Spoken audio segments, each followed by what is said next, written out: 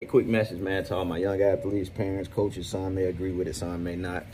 Um, y'all got to excuse my attire. Just got done giving me a little workout in. But I just had this conversation with somebody yesterday.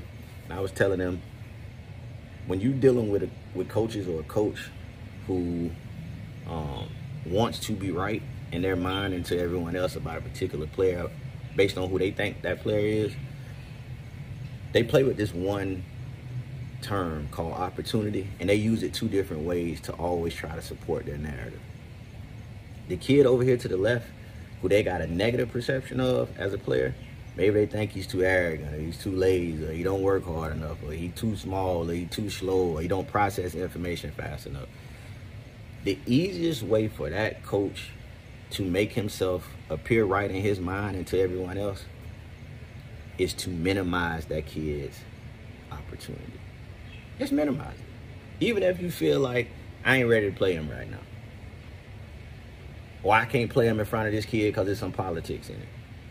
The quickest way for that coach to make himself appear right in his mind and to everyone else, just minimize this kid's opportunity.